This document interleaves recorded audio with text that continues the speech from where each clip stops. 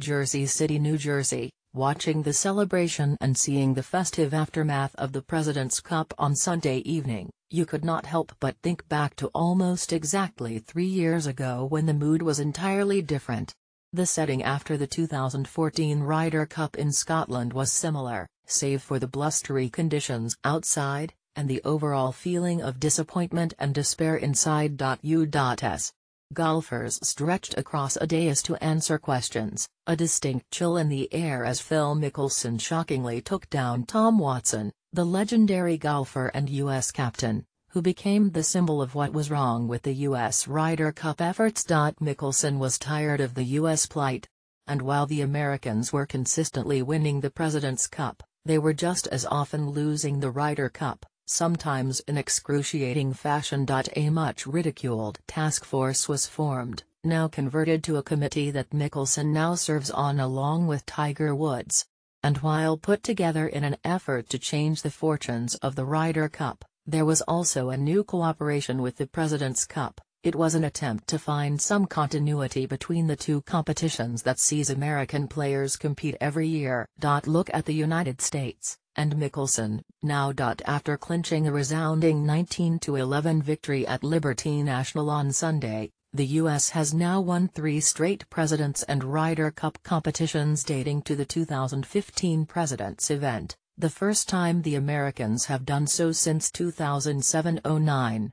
We have a dynamic here that is different than I've seen, and that is, these young guys are not only great players, fiercely competitive, but they have a quality that's taken me decades to acquire, and that is that they are genuinely happy for each other's success, Mickelson said.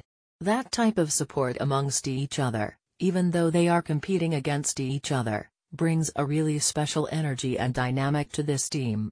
Mickelson, now 47, defeated Adam Hadwin 2 and 1 in his singles match Sunday, bringing his record this week to 3-0-1. Interestingly, he is now 8-1-3 in cup competitions since that night at Gleneagles. None of this is to say that the US is going to win the Ryder Cup or even the next President's Cup. Or that a task force is the reason it won the last one. But there is clearly a better vibe when it comes to the US team's fortunes in the team competitions.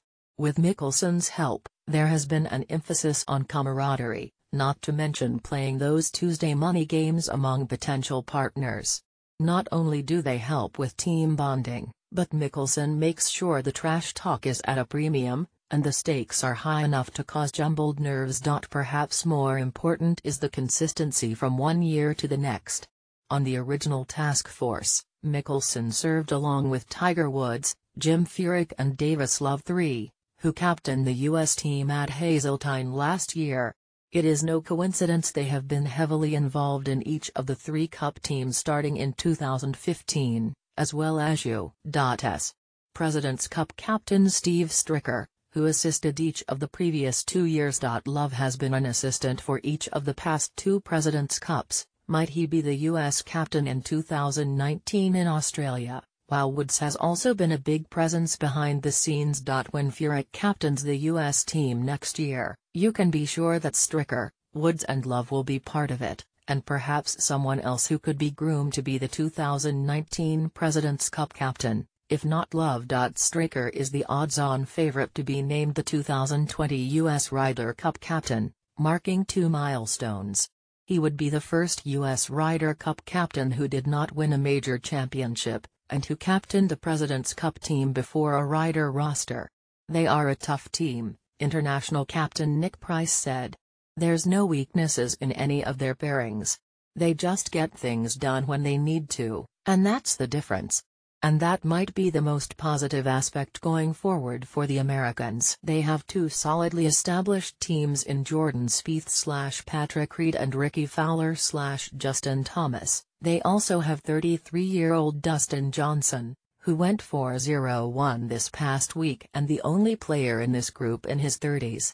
Add fiery newcomer Daniel Berger and US Open champion Brooks Koepka, along with up-and-coming player Patrick Cantlay, or maybe Xander Schauffele or Tony Finau, and the US has the makings of a solid team for the next 10 years.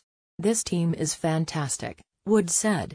They already have played junior golf, college golf, and obviously the early part of their pro careers together. It was very simple for us to put the teams together. They bonded really well and, on top of that, they really played their butts off this week. And then there is Mickelson. He has no plans to step aside as a player and settle into some sort of assistant captain role until he undoubtedly gets his shot as a captain. Mickelson was a captain's pick from Stricker and delivered, again say,